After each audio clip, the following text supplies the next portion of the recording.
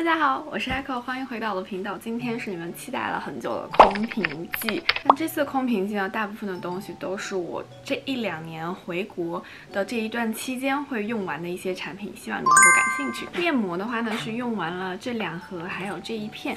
其实我中间应该还有用空过很多的面膜，就这种袋儿装的，但是我可能就扔掉了。这两个面膜呢，在上一个视频有跟大家讲过，是主要是针对于你做完美容项目之后，然后帮助你修护。它们两个都是医用敷料。如果我自己只能选一个回购的话呢，我会选这个富勒烯的，因为我觉得它整体的膜布都非常的薄，然后它的精华液也很多，它修复效果也很好，所以我还蛮推荐大家去呃尝试一下这个。初音的面膜的话，我觉得算是一个比较中规中矩的医用敷料啦。你去用可复美的也可以啊，你去用其他品牌的，我觉得都差不多。这个想要给大家重点推荐一下，它是 Dermafix 他们家的胶原蛋白紧贴。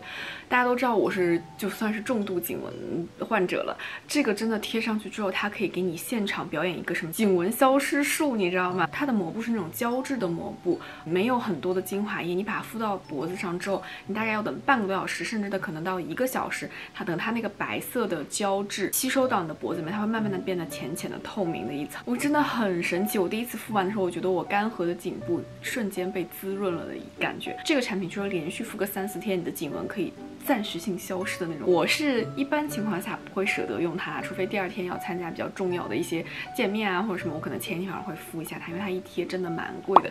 如果有预算的小伙伴可以尝试一下这个产品。卸妆清洁的部分，其实我只用空了这两个，我这次应该会有很多的中小样的产品，一个是我真的在很努力的清我的囤货，第二个是因为呃经常是出去出差啊、旅行啊，所以带很多中小样。我真的现在对我的囤货有一点点焦虑，你知道吗？就是要一直不停的不停。的狂用 Mac 卸妆油，我觉得它这个卸妆油整体的感觉稍微有一点点的厚，因为现在特别特别多的卸妆油做的很薄嘛，但它的卸妆力很强，我觉得蛮适合干皮的宝宝去尝试的。Uniskin 家的氨基酸洁面，我觉得这个洁面超好用，又便宜又淡了。重点你知道吗？这一支。真的是用了好久好久好久，我觉得它永远都挤不完，它只要一点点，它就可以搓好多好多的泡泡。我永远想说这支什么时候能用完，什么时候能用完？终于终于把它用完了。我觉得这个洁面可以升级为家中常备的产品了。保湿喷雾用掉了三支，一个是薇诺娜的马齿苋保湿喷雾，它整体喷出来有股淡淡的中草药的味道，真的是有达到一个舒缓的功效。但是我个人觉得它的喷头设计的很奇怪，就是它喷出来之后，它没有办法照顾到整脸，会。会让我觉得总是好像感觉，要么就是我脸太大了，你知道吧？就只能喷到三分之二的样子。所以我觉得他们家这个包装设计真的是要再。进步一下，Fresh 家的玫瑰水的喷雾是之前我在机场买的，它这个水本身没有什么其他特别的功效，它就是一个保湿补水的一个喷雾。这个是水珠太大，它喷出来让人觉得不是很舒适。这个也是不会回购的产品。丰润的保湿精华喷雾，这个是我自己之前非常非常喜欢的一个保湿精华喷雾，但是现在介于某一些原因，我觉得就是不能再给大家推荐了。嗯，包括我之后的视频或者空瓶可能会出现很多的日系的产品，是因为我自己之前真的买了很多。咱就是说钱也不是大风刮来的，所以还是就是说希望能跟大家说一下它的使用感受，但是绝对不会给大家再推荐了。发水用完了两个中样，一个黛珂的紫苏水，它的整体的。呃，使用感是比较轻薄、比较清透的，我觉得是，嗯，夏天的使用感会比较好一些。Believe 的这个炸弹水，我自己还挺喜欢的，就是它是也是比较清透挂的精华水的一个感觉。嗯，我其实自己对 Believe 家的东西一直都是属于那种，哎，好像最近脸很干，就有点想去买 Believe 家的炸弹霜啊，或者是他们家的保湿喷雾这样子。我觉得没有尝试过小伙伴可以尝试一下，他们家就是保湿的这个功效真的做的还还挺不错的。精华用完了七支，大部分都是中。样啦，首先呢是修丽可家的一个 CEF 十五毫升的精华和晚间的这个 RBE 的正装加一支小样，这个是老朋友了，大家都会在我视频里面不停不停不停的，呃。看到它们的身影，白天的这个抗氧化的效果是非常好的，并且它可以有效的帮助你提取控油。晚上的这个 RBE 精华呢，如果你是熬夜党、熬夜星人，你一定要用这个。这个针对于脸部暗沉和泛黄有一个很好的改善，所以这两个是永远永远都在回购的两个单品。修丽可家的色修小样，这个也是一直在用的，我会经常出门旅行带它，因为如果说偶尔呃哪里泛红啊，或者是有一点点炎症的情况，你把它涂在脸上，它会给你皮肤能够带来一个很好的一个退。褪红的效果，这个产品在我家至少囤了得有快十瓶。新面孔薇诺娜的舒缓保湿精华，我自己很爱这个精华，它真的就是搭配薇诺娜家的特护霜，能够有一个很好的一个舒缓的一个效果，尤其是嗯，像我。这两年可能来回在路上的时间比较多一点，经常皮肤换一个地方它容易水土不服，我就会用这个。这个它不仅能够给你维稳，还有一个很好的一个保湿的一个效果，所以我自己特别喜欢。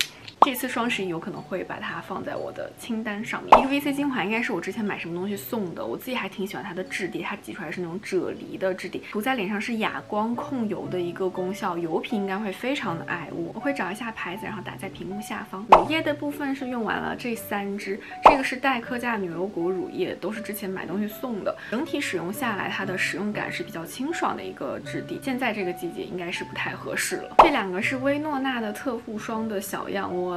已经说过很多次了，我很喜欢他们家特护霜，手头上面还有囤货，所以这次双十一应该不会在我的回购名单上。如果说皮肤很容易不稳定的小伙伴可以尝试一下。防晒霜空掉了这两个，这个是 IPSA 的防晒霜，这个我不记得大家记不记得了，是我去年的时候囤了那个 IPSA 套装，三个正装，然后送了三个这种小样，到现在。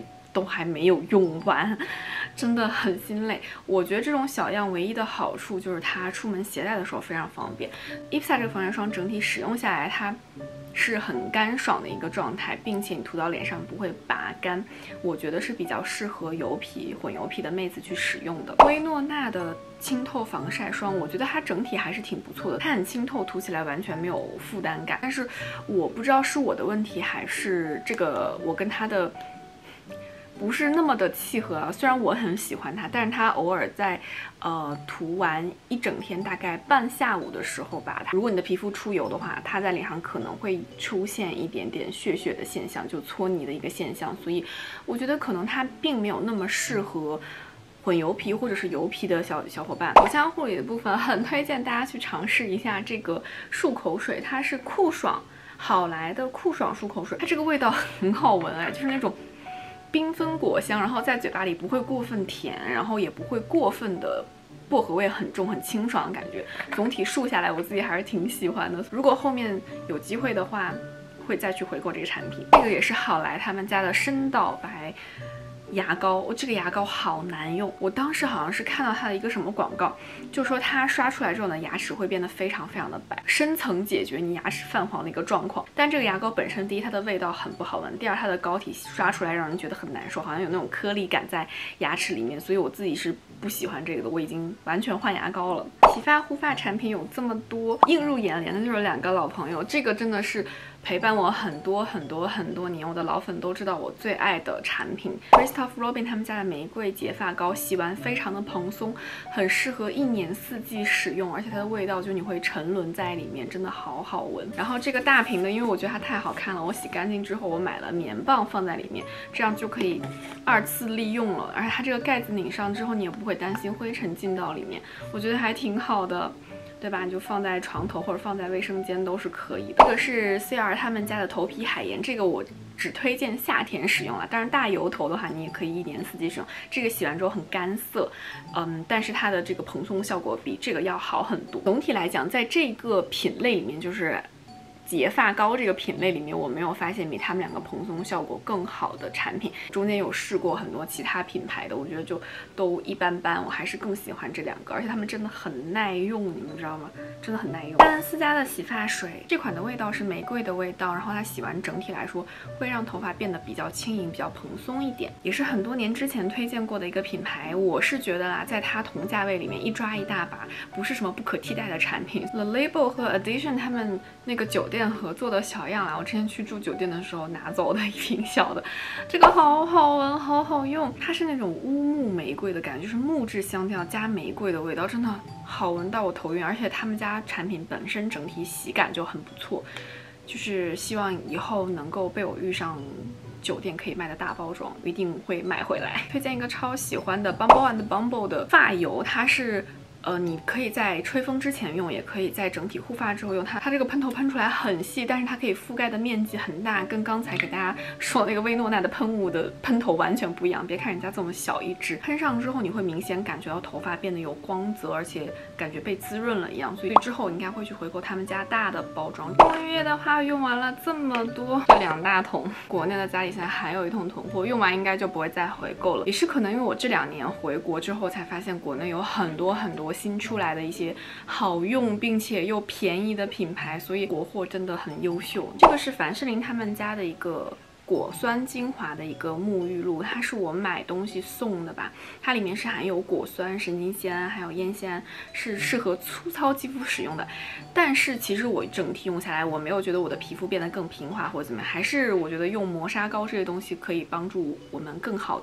的去平滑我们表皮的这些颗粒的东西，所以这个就是一般般啦，我觉得真的一般般。这个是 Atelier Clone 他们家之前有那个圣诞礼盒不是吗？然后里面开出来的这种 shower gel，它毕竟是一个香氛品牌，所以它整体的使用感包括香味都不会非常的差。他们家我记得整体是做甜橙味做的很不错的一个品牌，大家可以去尝试一下。丹的玫瑰庄园的一个蜡烛是九点零九，Shower Dance，这个也是我去年双十一购物分享的时候给大家开。箱开出来那个让我很震惊，买一送一的蜡烛，我一直很喜欢这个牌子。一个是它是我很喜欢的博主，第二个呢是他们家的味道只有玫瑰味，就是你怎么买都不会出错，所有的玫瑰味道都非常非常非常的好闻。我也有用过他们家基本上全线的产品吧，没有什么踩雷的，都很好用，而且价格又不是特别的贵，就又良心又好用的。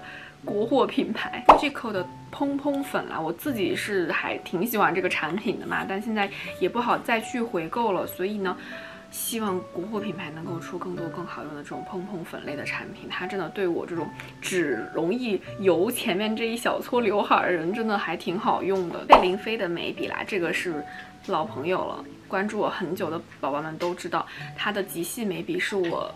画眉毛必不可少的工具，它画出来整体非常的顺畅，颜色又很多，很适合新手。那它是一个双头眉笔，这边还是一个小的眉梳，你就可以画出一个很自然的眉毛的形状。这个真的是我的爱。l a m e r 家的唇膏又用空了一个，我真的超爱他们家唇膏。我觉得我用下来这么多便宜的唇膏也好，贵价的唇膏也好，我觉得最终我能坚持使用完的，好像就只有 l a m e r 这一个，跟价格没有任何关系，单纯的就是觉得它。的功效是最好，更让我安心的一款产品。无论你之前的嘴巴是有多少死皮或者怎么样，第二天起来嘴巴绝对是嫩的，就是又饱满又嫩的那种感觉，我爱死了。以上就是今天的全部内容啦，那让我们下次再见吧，拜拜。